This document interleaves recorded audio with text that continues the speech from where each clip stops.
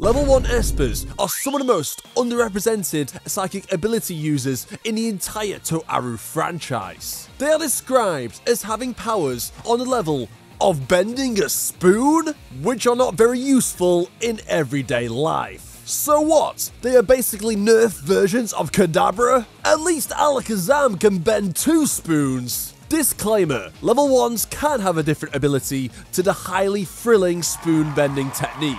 There have been very few level 1s that have actually appeared so far in this series, but there's enough to make a video about. I guess they should be grateful they aren't ranked at 0. First up, we have Himegi Matsuri, who you might remember from the end of the Accelerator anime. She's the main female protagonist of an arc I'd rather drink to forget, as she probably has more screen time than even Accelerator. Seriously, for an arc about chefs, the Nectar arc incinerated whatever it was trying to cook.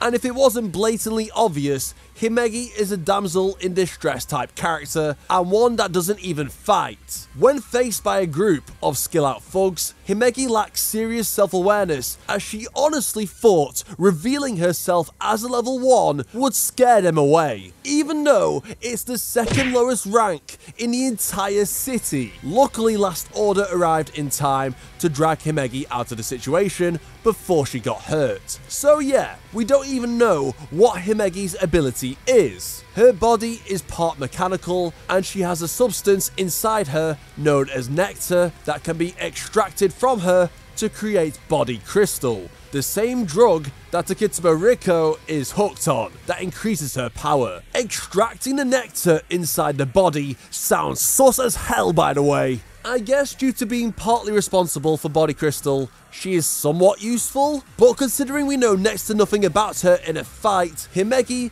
has to be ranked at the bottom, where she belongs, cause she's literal garbage. Now we have Honoka, not the one from Love Live. This one looks like gender bent Touma. Honk was one of Shundan Kimi's closest childhood friends, as their group was taken in by a power development lab to boost their Esper levels. What could possibly go wrong? As a very respectable level 2 Esper and Pyrokinesis user, Honk could literally create and manipulate fire at will. But for whatever reason, the experiments on Honk had the opposite effect and demoted her to level 1. Wow, what an epic prank. As Honk was now at an even lower level, the control over her ability significantly decreased, as she was not able to produce fire consistently, if at all. And to make matters worse, she got gunned down, sacrificing herself to let her friends escape from the lab, which then of course started Kimi's anime villain arc.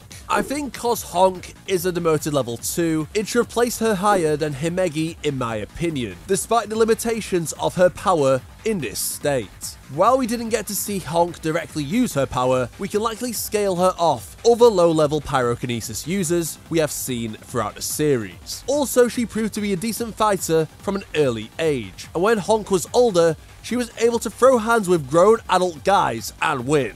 What more evidence do you need that Honk is female Touma? I rest my case. Next, we have a newly introduced character from the item spin-off, Ainame Caroline. She is a crazy ass lolly who acts as the Kihara Amata figure for Mugino, as she developed her level 5 Meltdowner ability, which launches electrons to disintegrate matter. Carol is super intelligent for a 10 year old, having developed her own Esper ability and also cheated her way into college at age 5. I wish that was a joke. God damn it, Kamachi. How many times are you gonna make these characters lollies for no fucking reason? Due to her being able to develop her power how she wishes, Carol is much stronger than an average level 1 Esper. Carol's ability is electron-based photography, which outputs or copies information the Esper shouldn't know onto an existing medium, such as predicting the future or influencing minds. But Carol is different to other photography users as she is also capable of using the ability offensively. Carol's version of the power has a surprising number of unique and different applications. She has a form of precognition and is able to predict events before they happen. It's similar to the precognition used by Miyama in Railgun T, but functions differently. Carol uses the invisible flow of electrons to simulate the future and draw it out using magnetism, which is imprinted in her brain and can be shared with others like a photograph. It is unclear how far Carol can see into upcoming events, but she managed to stay one step ahead of the item girls for a majority of the volume. Carol can project a thought pattern onto her victim's brain via special iron ink, putting them into a permanent coma that can only be reversed if she dies or removes it herself and this ability can even kill the victim if they have serious enough injuries by literally frying the brain's electrical signals. Carol propels the ink